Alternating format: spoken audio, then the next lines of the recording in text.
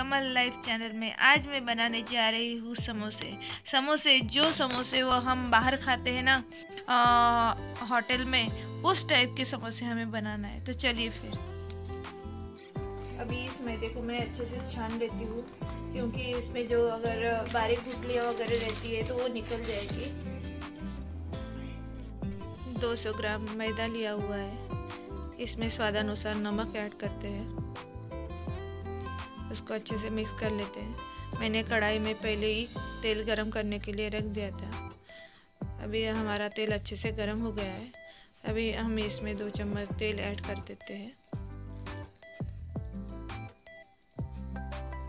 उसके बाद जो अजवाइन है उसको अच्छे से क्रश कर लेते हैं। फिर अजवाइन इसमें ऐड कर लेते हैं। फिर इसको अच्छे से मिक्स कर लेते हैं। इसको अच्छे से हमें मिक्स करना है, ताकि गुठलियाँ ना जमे।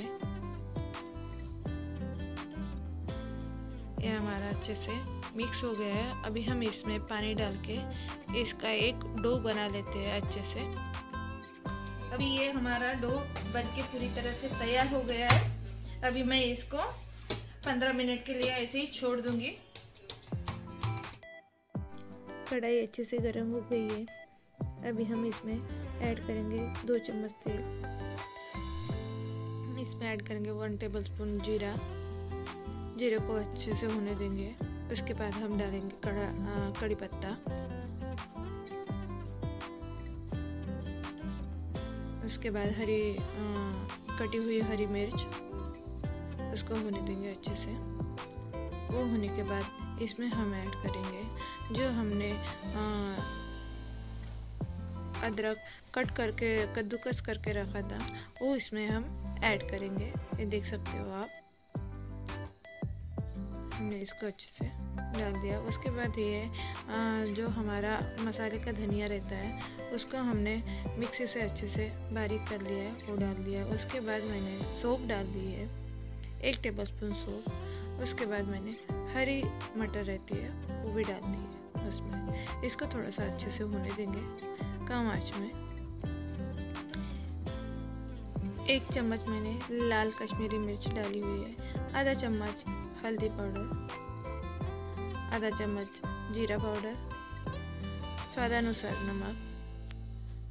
उसके बाद मैंने जो आमचूर पाउडर लिया था, वो आधा चम्मच आमचूर पाउडर डाला है। उसके बाद चाट मसाला आधा चम्मच।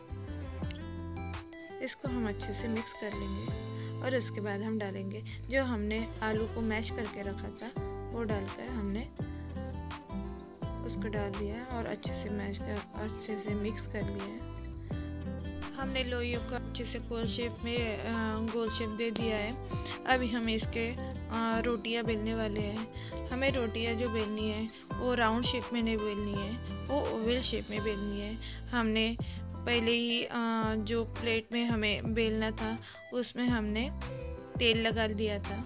ये देखो, इस टाइप से हमें रोटियाँ बेलनी है।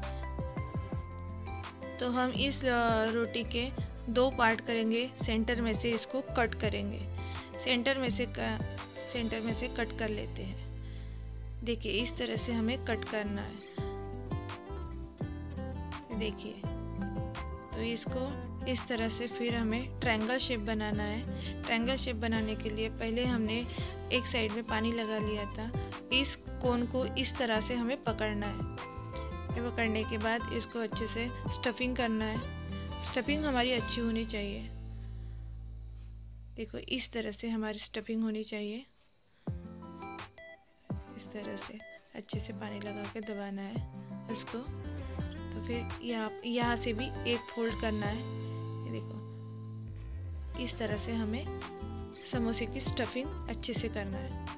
तो इस तरह से हम कर लेते हैं स्टफिंग ये देखिए हमारा समोसा बनके तैयार है। इस तरह से हम पूरे के जितने भी समोसे उतने बना के तैयार कर लेते हैं, फटाफट से। तो चलिए फिर, ये देखिए, इस तरह से हमारे समोसे बनके तैयार हो गए हैं। अब हम कढ़ाई में समोसे को डाल देते हैं। हाँ इस समोसे को हमें अच्छे से तलना है। और इसका जो फ्लेम है तो लो भी नहीं रखना है और मीडियम हाई भी नहीं रखना है।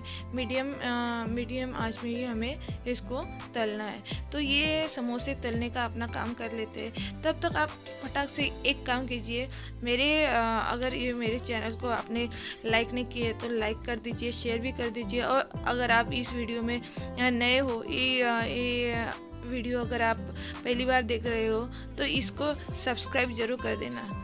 तो मैं आपसे बात कर रही हूँ, तब तक हमारे समोसे भी तल के तैयार हो गए हैं। तो आप देख ही सकते हो, इस तरह से हमें समोसे को तलना है। इस तरह से हमारे समोसे पूरी तरह से बनके तैयार हो चुके हैं।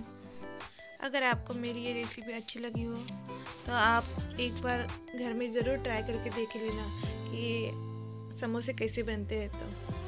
अगर आपको ये अच्छा लगा तो आप कमेंट करके ज़रूर बताए ज़रूर बताइए कि आपको ये रेसिपी कैसी लगी करके। तो ये वीडियो देखने के लिए थैंक यू गाइज़